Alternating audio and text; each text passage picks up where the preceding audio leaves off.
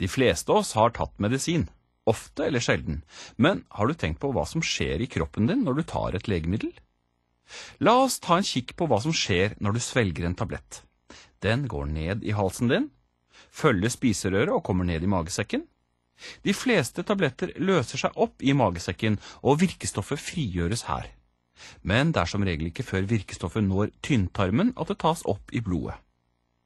Første stopp i blodbanen er leveren. Leveren har mange viktige oppgaver. Den tar blant annet opp stoffene som kommer med blodet, og kan gjøre dem om til stoffer som er enkelt for resten av kroppen å nyttiggjøre seg av. Og den skiller ut stoffer som ikke er gode for oss. I leveren er det en stor samling av enzymer som skrur på virkningen av enkelte medisiner.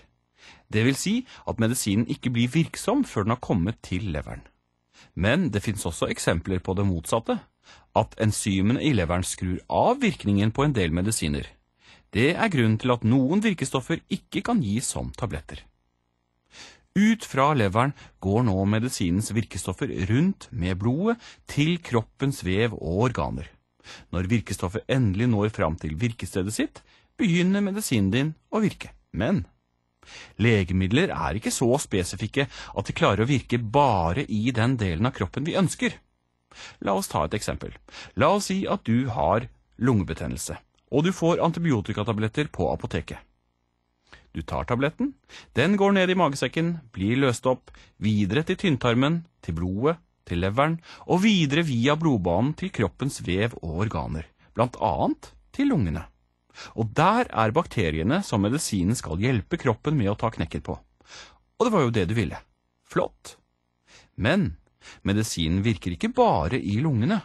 I tarmen er det også bakterier som medisinen virker på. Men dette er ikke de bakteriene som gjør deg syk.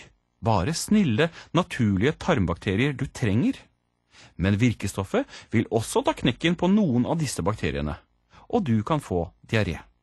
Ikke så flott. Dette er også en bivirkning av antibiotikatablettene. Men alle mennesker er forskjellige, og bivirkninger kan slå ulikt ut på ulike personer.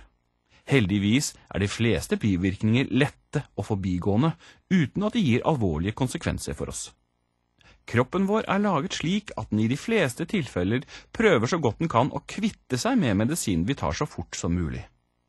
En del av tabletten blir allerede ødelagt eller omdannet i mage- og tarmsystemet. Leveren og nyrene gjør så godt de kan for å skille ut den delen av medisinen som klarte å komme inn i blodbanen vår. I leveren blir legemidler omdannet til stoffer som er lettere for oss å skille ut, slik at de kan tas imot av nyrene og skilles ut med urinen, og gå ut av kroppen.